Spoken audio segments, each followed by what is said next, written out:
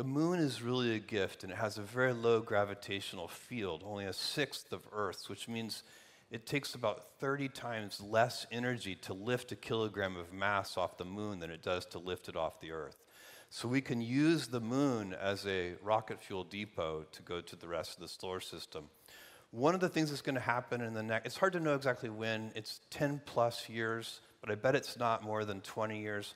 We're going to start building these giant gigawatt data centers in space. So these giant training clusters, those will be better built in space because we have solar power there 24 7 uh, and it's uh, and, and the solar power there is there are no clouds and no rain, no weather, so you can build.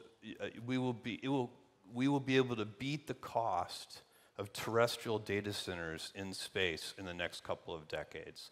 And so space will end up being one of the places that keeps making Earth better. It already has happened with weather satellites, it's already happened with communication satellites. The next step is going to be data centers and then other kinds of manufacturing.